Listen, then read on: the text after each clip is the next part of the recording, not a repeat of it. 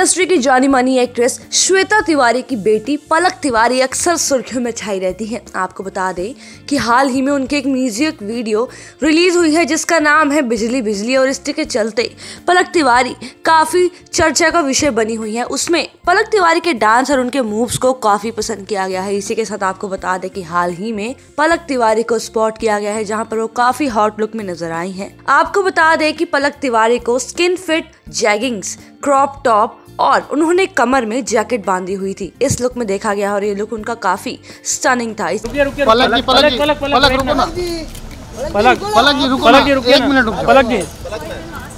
हाँ हाँ जी, एक मिनट मिनट रुकिए रुकिए मास्क पहन लीजिए मास्क पहन लीजिए पहले जाइए ना। पलक जी नहीं बिजली बिजली।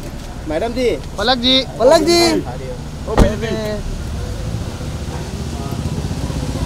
गाड़ी निकालो